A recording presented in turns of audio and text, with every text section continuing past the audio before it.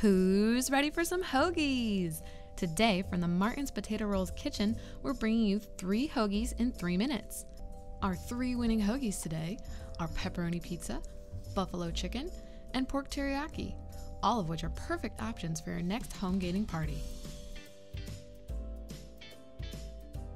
It's not game day without pizza.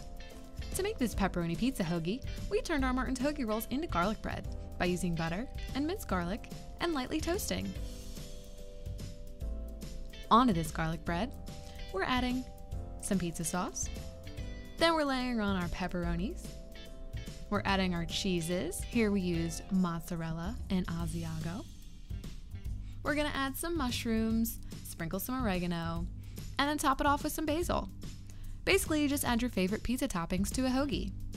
Then, once you've finished your masterpiece, place your hoagies on a baking tray in a preheated 350 degree oven and bake until the cheese melts. This should take about 5 minutes. Next up is our buffalo chicken hoagie. To make your chicken, saute some thinly sliced chicken breast in olive oil. Then, add your buffalo sauce and stir to coat.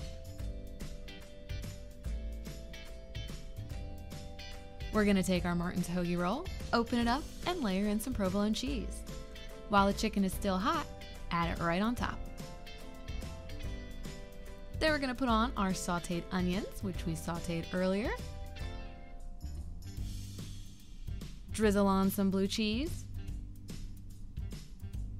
And then sprinkle with some chopped scallions. Yum! Easy and delish.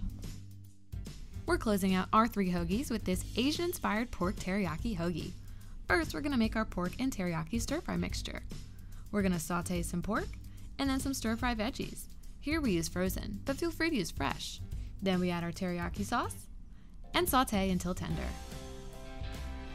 Once that's done, we add back our pork and add some sesame oil. Stir to coat. Then we take our Martin's hoagie roll and slather on some sriracha mayo. You can customize this to your heat preference. Then we layer on top our pork teriyaki mixture.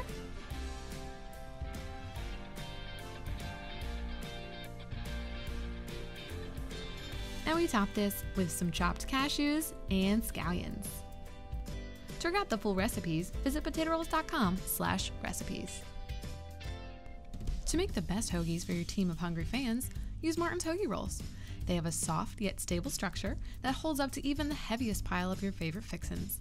If you have yet to try these out, you can find a store near you that sells them by visiting potatorolls.com slash find us.